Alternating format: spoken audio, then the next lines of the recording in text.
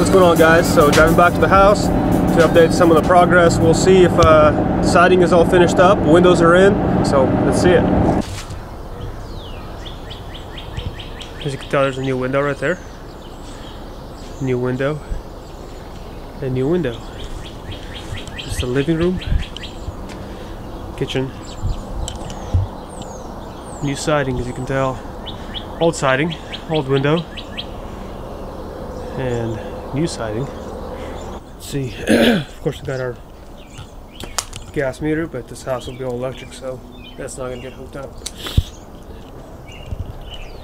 The back of the house is kind of a construction zone now, so we've got some cedar blocks, some wood. You see the piano's gone.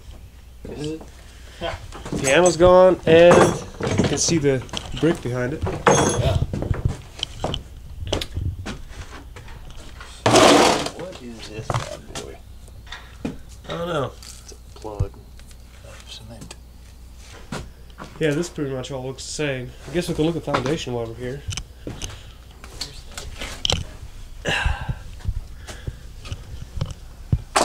Yeah, it's kind of spotty. It's just old brick, and then there's some new, newer foundational blocks right there. Yeah, this looks new. Yeah, I'm just glad they used the treated wood to support that. Yeah. You know.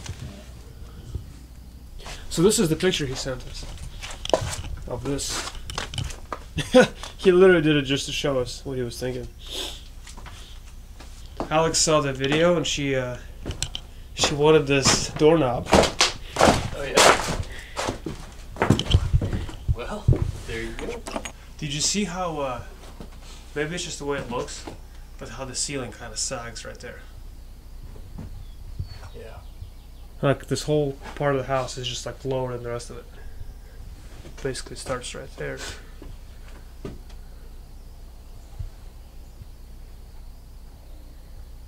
Not really sure what to do about that. I think just an old home has an old home problems. Sound like old people, they sag too.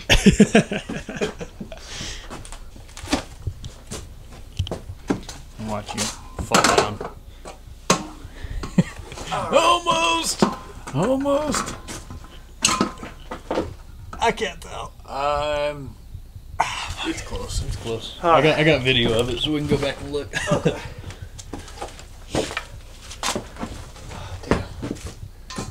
Okay.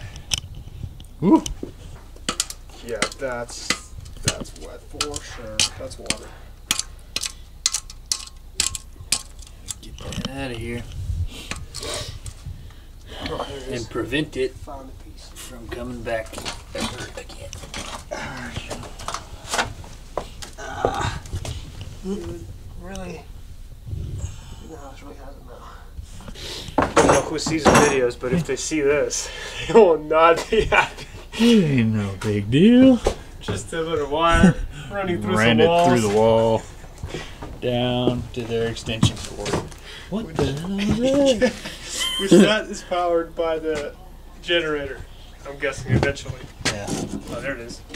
Dude, look at this little mixture. Well, that's legit. That's real.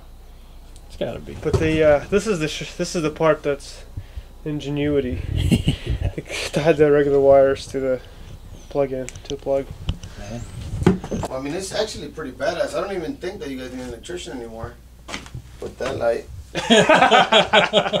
And they're LEDs, so they're not. Oh, high efficiency. Oh Yeah. shit. They're gonna last forever.